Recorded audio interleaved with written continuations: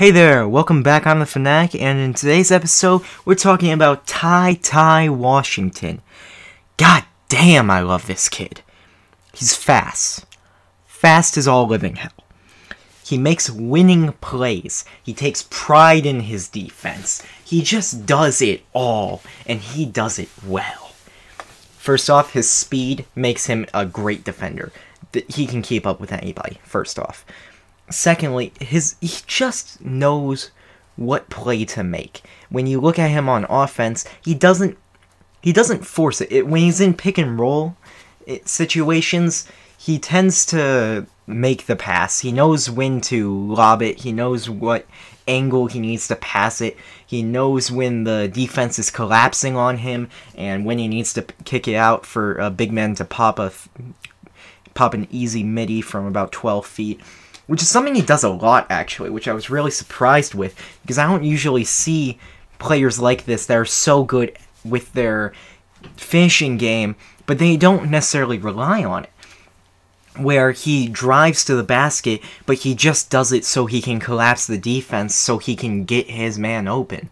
He doesn't he doesn't do he doesn't play outside of himself. He takes shots he knows he can make because he's a good shooter I mean, really, I was really impressed watching some of his um, highlights, especially with his mid-range shot, which was something that I was heavily impressed with.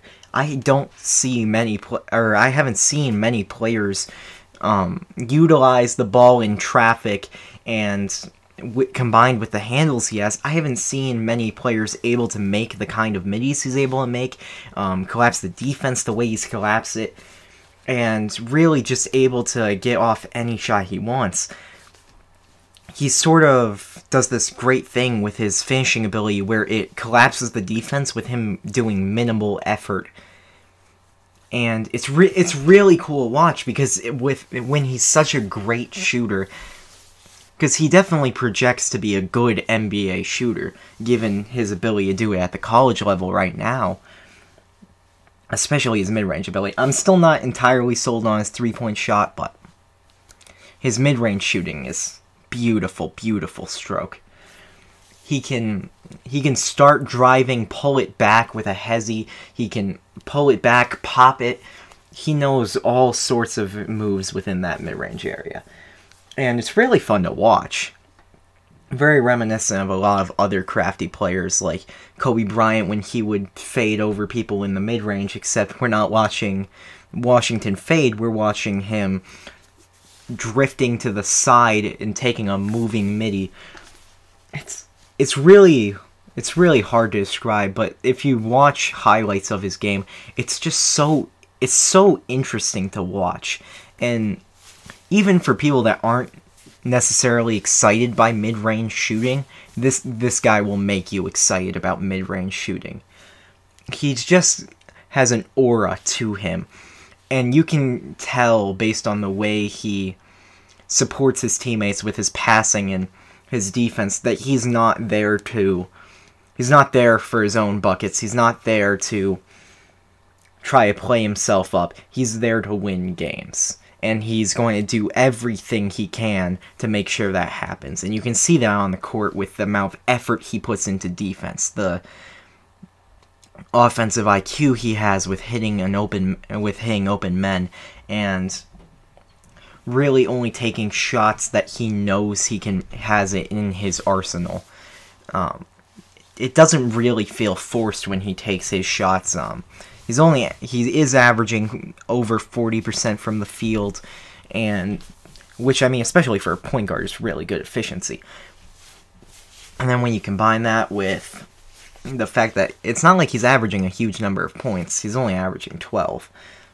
But that sort of works with the sort of thing around him where he just doesn't try to he doesn't really care about his individual scoring numbers. What he really cares about is getting his getting his team to victory.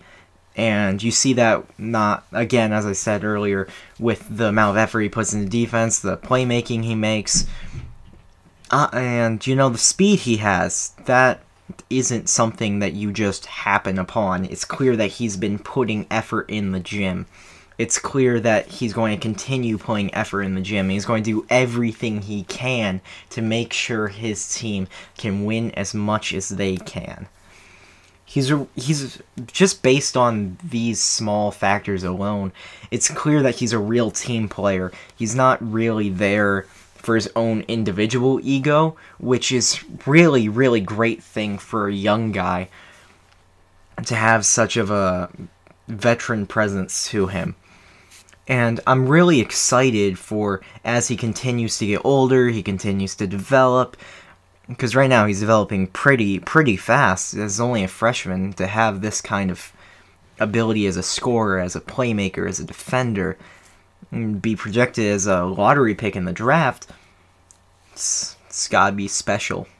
And I'm definitely very excited to see as he gets older, as he develops a better sense for the game, he really comes into his own, maybe working to be a little more confident in some of the shots he takes.